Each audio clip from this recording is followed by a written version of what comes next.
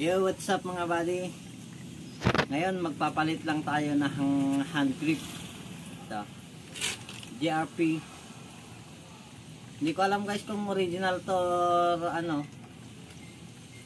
Peke. Pero ang bili ko dito 200.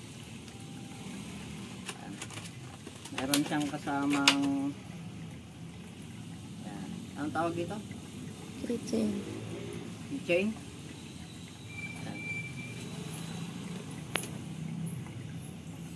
Maganda naman. Ayan o, matibay naman.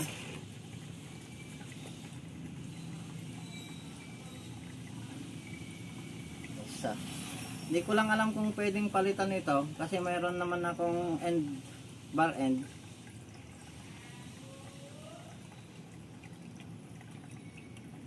Pero maliit yata yung kan. Pero subukan ko na lang guys. Try kong kabit ito. Okay, let's go. Get, get, on my head. Get, get, get on my head. Get, get, get on my head. Get, get, get on my head. Get, get, get on my head. So, yun guys, ikakabit na natin tong GRP.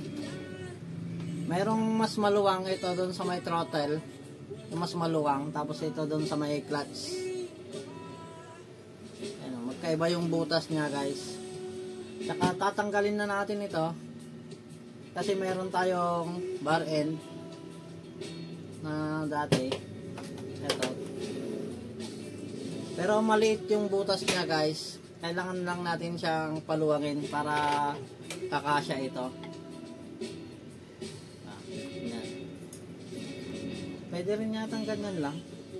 Pangit ba? Dapat may pasok natin ito. Dito.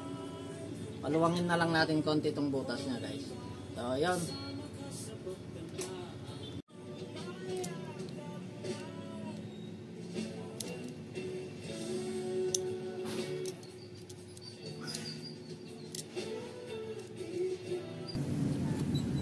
So, yan.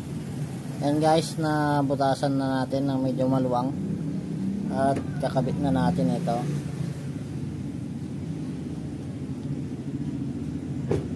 Yan. Yan, ganyan na siya.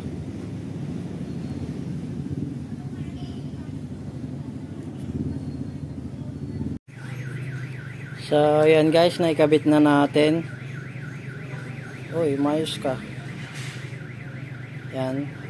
Tapos nagpalit na din tayo ng quick throttle kasi ito, ayan, basag, nasira na. Ito, ayan, sira na din. Ayan, quick throttle na Daytona, mura lang, 250 pesos. Ayan, kabit na natin yan. Kabit na natin dito. Oh, yan ayusin lang natin dito sa may carb niya. Tapos testing na natin. So yan, all goods na.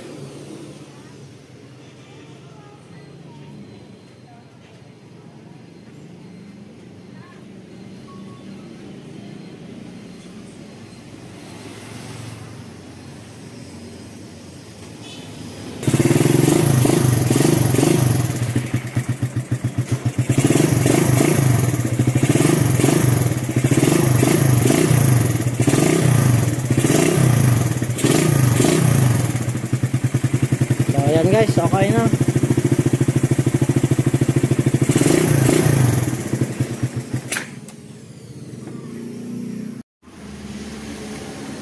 So, yun guys, naikabit na natin. Yan, ito.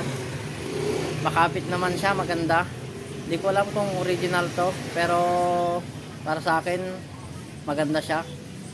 Sobrang kapit niya, rubber. Tapos nilagay din natin to. Bar end. So, yun lang guys. At maraming salamat. See you next vlog.